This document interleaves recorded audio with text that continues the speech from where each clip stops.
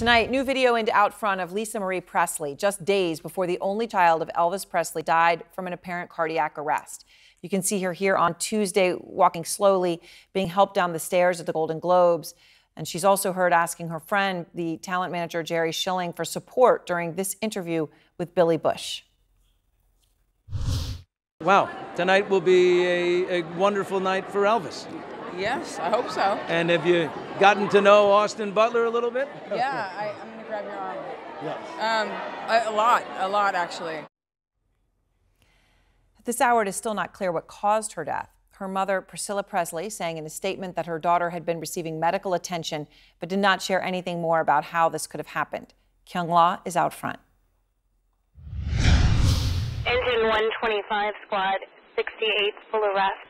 Paramedics responded to an emergency call for help. Hours later, Priscilla Presley, mother of Lisa Marie Presley, said her daughter was rushed to the hospital and then shared with fans that the daughter of Elvis had died at age 54. I just, I, I got chills because that's how her father passed. The child of the king of rock and roll who lost her father when she was nine, had apparently succumbed to cardiac arrest. There are about 350,000 cardiac arrests every year in the United States. So that's about um, one almost every minute in this country. So it's a very common occurrence.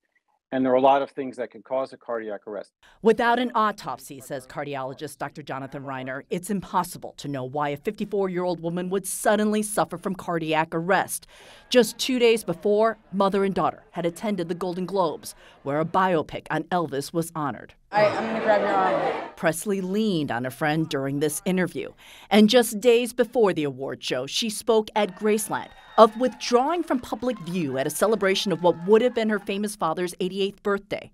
I keep saying you're the only people that can bring me out of my house. Presley had previously lived a very public life, marrying the king of pop before she would embark on a singing career of her own.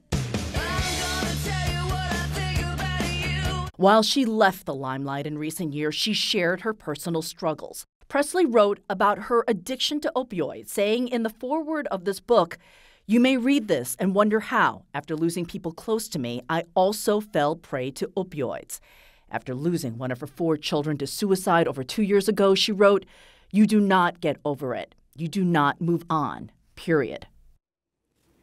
Uh, Dr. Reiner says that in the wake of Presley's cardiac arrest, as well as the cardiac arrest of sports writer Grant Wahl and NFL player Damar Hamlin, there has been a scary and unfortunate rise of misinformation, Erin, where conspiracy theorists are trying to tie this to vaccine safety. Mm. Erin? Okay, thank you very much, Kyung. And joining me now is Kevin Frazier. He's the co host of Entertainment Tonight. He interviewed Lisa Marie Presley during her final public appearance at the Golden Globe Awards on Tuesday. And Kevin, I appreciate your taking the time. I'm sorry to be speaking to you under these circumstances eh, because you were there. You were with uh, Lisa Marie Presley the last time she was seen alive in public. Uh, we've got the video of you speaking with her at the Golden Globes for Entertainment Tonight. I'll just play one of the exchanges you had with her. Sure. Hey, Lisa, how are you? I just, I just photo, what I photo bomb you? No, no, it's perfect. This is a big man. Whoa, what was it? What was it like watching him on stage? Oh, hi. Oh, hey. Hello. Good to see you. Nice to meet you. Hi, Lisa. How you doing? I, I hear a lot about you. Thank you. I hear a lot about you.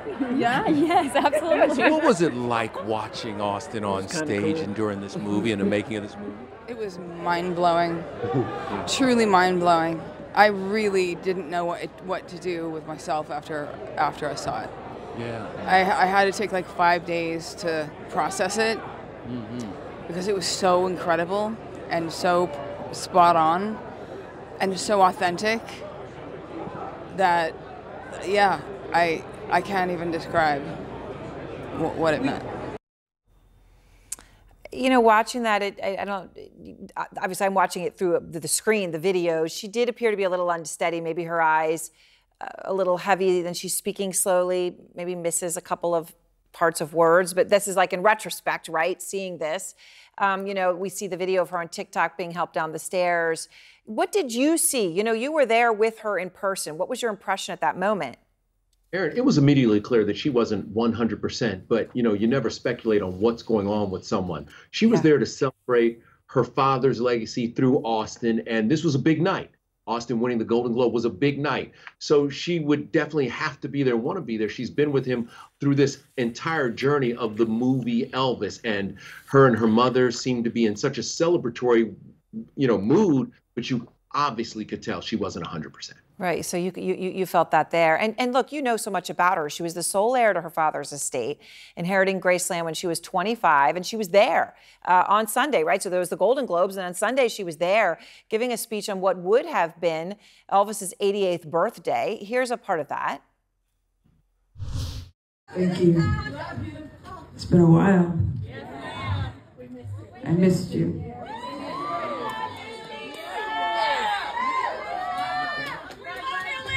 And I love you. I keep saying you're the only people that can bring me out of my house. I'm not kidding. And I love you back, and that's why I'm here. So today, uh, he would have been 88 years old. Um, it's hard to believe. Interesting what she said there. You're the only people who can bring me out of my house, and I'm not kidding. Um, of course, sort of I look at think- that I think- differently now. I think the point there is that, you know, she was still grieving the death of her son, Benjamin, and she has been very open and honest about that. She penned that um, article in People about his death. You never really, anyone ever gets over the death of a child. And you also have to remember that since she has been small, she has been the focus of everyone's attention as the sole heir, the sole child of Elvis Presley. Um, they got divorced. Priscilla and Elvis got divorced when she was four years old. So she, then she left Graceland and went to California. And then he passed away when she was nine. So since then, she's carried that burden. And, you know, this legacy meant everything to her and her mother. And having been there uh, several times and, and watched her record music and listen to her grow, it was never an easy path for Lisa Marie. She was always trying to figure out her place in this world. But I will tell you that she loved her children and her relationship with her mother was so close and so special.